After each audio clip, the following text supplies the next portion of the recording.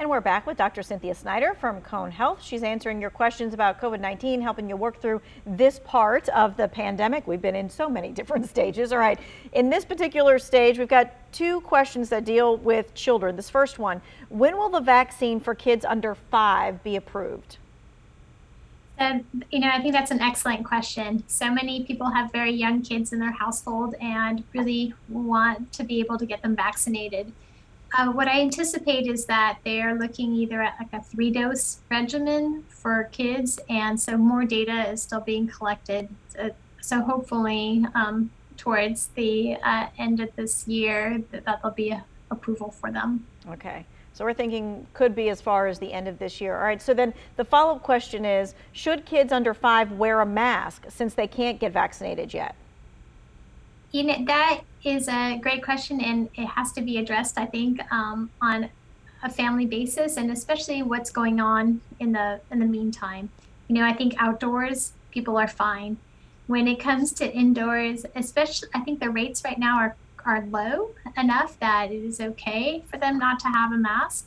Um, but obviously, if your kid has any like respiratory illnesses or immunocompromised, I would probably keep them masked at that point. And really, um, I think for kids right now, some of the messaging that they hear is that you wear a mask when you work closely with somebody, and then you can take off your mask when on, you're on your own. So it's that a little bit of that flexibility for now. If the rates get higher, obviously that's a good time to start implementing masking back in schools. Mm-hmm. All right, so this next question is one I think we've covered over and over again, and, and you know, it seems to change here and there. This uh, question is Will we need a COVID shot every year like the flu shot?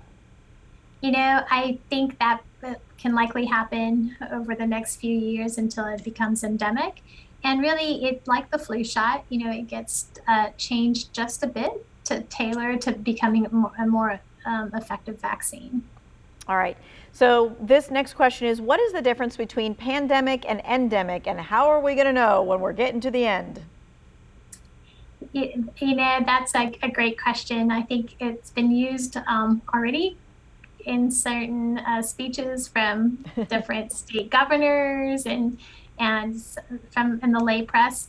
Um, from the public health side, um, when an infectious disease becomes endemic, it's when it doesn't disrupt like your day to day type of activities. You know, uh, right now, I would not say we've reached the endemic level because it has put significant stress on local um, hospital systems. Mm-hmm. And when we no longer have to cancel events and things of that nature because all of that, because of the spread. Yeah.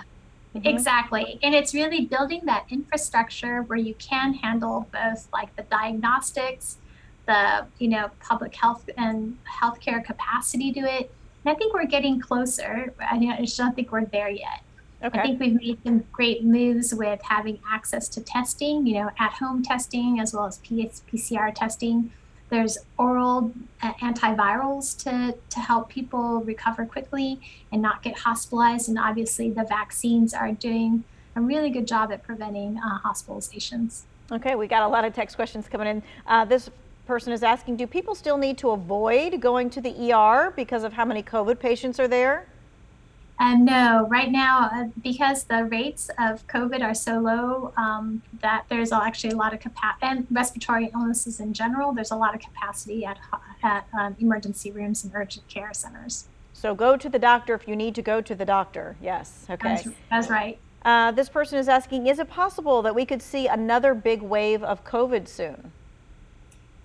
You know, we are always looking ahead, trying to see um, different countries, what uh, types of strains are, are, circulating in different areas of the world. And we still are keeping an eye on BA.2, which is, you know, this, what we consider another uh, subvariant of Omicron. And it may increase the cases in the US, but we don't anticipate to have like huge numbers as we do now we suspect that the folks that have had BA1, you know, have had COVID since the beginning of the year probably have a, a bit of protection. Mm-hmm. All right, this person is asking, what kind of over-the-counter treatments do you recommend for a mild case of COVID? So we generally recommend folks to, you know, to be uh, to stay hydrated, and um, you can use uh, some of the over the counter medicines to help with uh, headache or fever, such as Tylenol or uh, ibuprofen.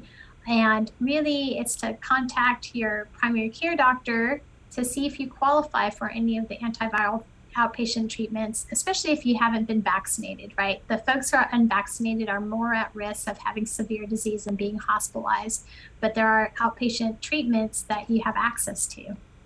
Okay. All right, we're going to continue to take your text questions. We've got one more quick uh, break, and then we'll be back with more of your questions.